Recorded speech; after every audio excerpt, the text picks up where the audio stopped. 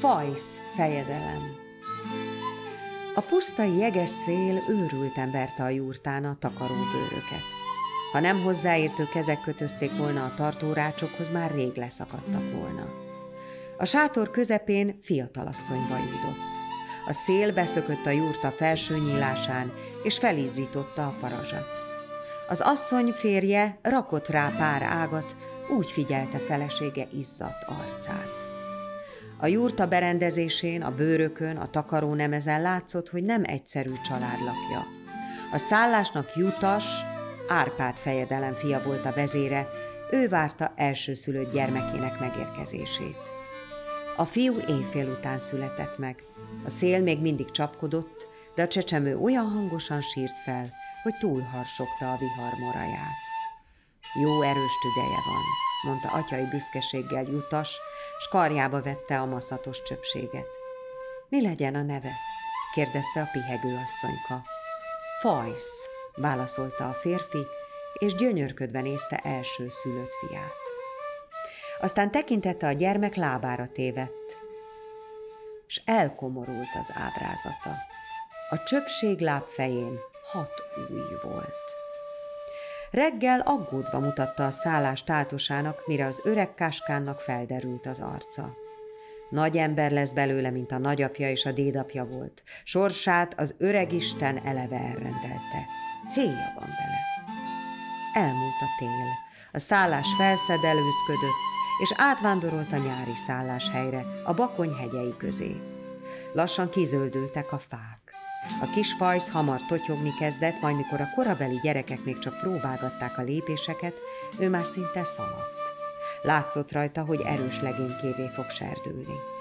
Amikor elolvadt a hó, Árpád fejedelem lóra ült, elvágtatott a távoli bakony hegyei közé, hogy megnézze unokáját.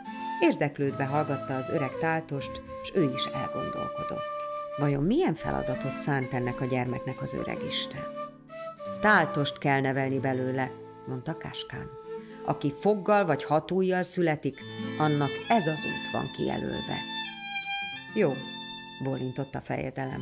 Tanítsd meg a tudományodra, s ha majd netán fejedelem válik belőle, hasznát veheti. Árpád elment, s többet nem jött vissza.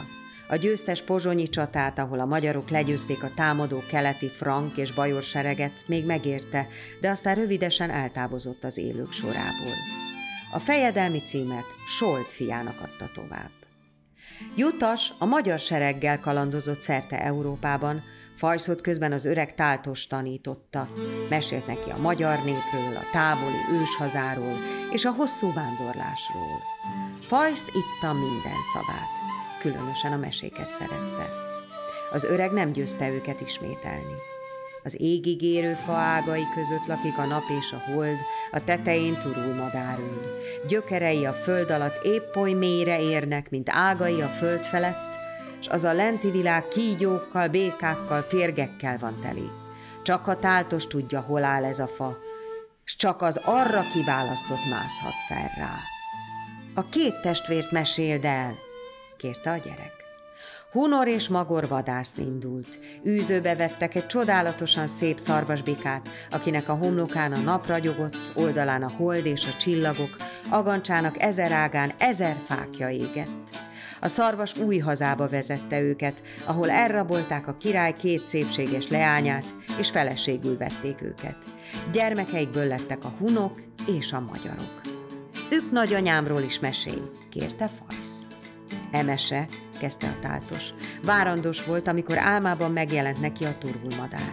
Emese azt álmodta, hogy méhéből bővízű patak árad, az folyóvá duzzacs idegen földre folyik. A jövendő mondó úgy magyarázta neki az álmát, hogy hamarosan megszületendő gyermeke új hazába vezeti a népét, és utódaiból dicső királyok lesznek. Ő lett Álmos, a te dédapád, aki Árpáddal, a nagyapáddal erre a földre vezetett bennünket, magyarokat. Az hogy volt? A hét törzs vezére, Álmos előd, Ont, Kontas, Huba és Töhötöm vérszerződést kötött, és fejedelemnek Álmost választották. Megvágták kezüket, és vérüket egy kupába csurgatták. A mai naptól kezdve téged vezérünké és parancsolónká választunk, s ahová szerencséd visz, oda követünk téged. Mondták el fogadalmukat, és kézről kézre adták a kupát, hogy mindegyikük igyon belőle. Így szentesítették az esküt. Hány fia volt nagyapámnak? Árpádnak öt fia született.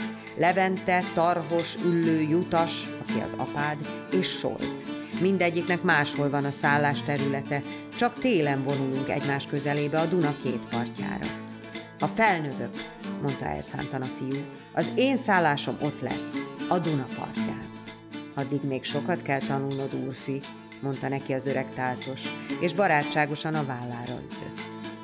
Káskán ezután a táltosok tudományára tanította.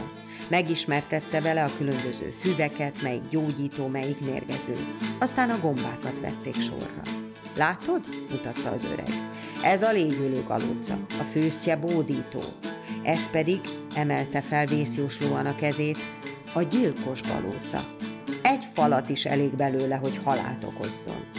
Megmutatta a gyereknek, hogy képes révületben meglátni a jövendőt.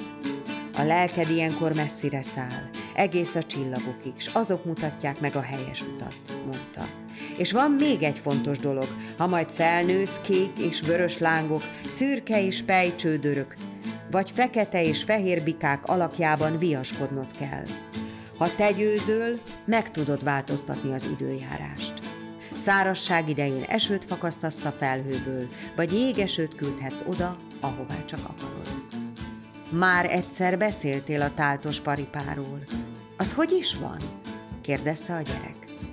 Amikor Fajsz hét éves lett, édesapjától egy csikót kapott, aki nem tudta miféle jószág valójában, azt mondta volna gírhes kis gebe, s nem éri meg a nyarat. Fajsz viszont megtanulta az öreg táltostól, hogy minden este égő parázsral kell etetni. Egy hónap után aztán úgy megtelt erővel, hogy játszik könnyedséggel ugrotta át még a legmagasabb akadályt, vagy a legszélesebb árkot is. Igazi aranyszőrű táltos paripa lett belőle, és a fiú babunak nevezte el. Amikor legközelebb a téli szálláshelyre vonultak, Babu úgy ugratott át a jeges Dunán, mintha csak patak lett volna. Fajsz körbenézett, a szavak önkéntelenül törtek fel belőle. Ez lesz a szállásom.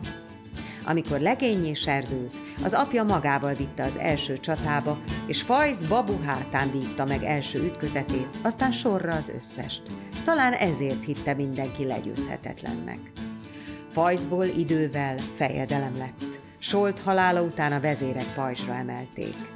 Ő is végigdúlt a Nyugat-Európát vezetett hadjáratot Burgundiába, a német alföldre, Frankföldre, egész az északi tengerig. Nem hiába imádkoztak Európa templomaiban. A magyarok nyilaitól ments meg, uram, minket. Ám aki e világra születik, annak egyszer el is kell távoznia. Még akkor is, ha az égiek táltosnak címezték a földi sorsban. Amikor a szerencsétlen kimenetelő Augsburgi csatában ő is ott veszett, a Lech folyó partján lehellel és bulcsúval.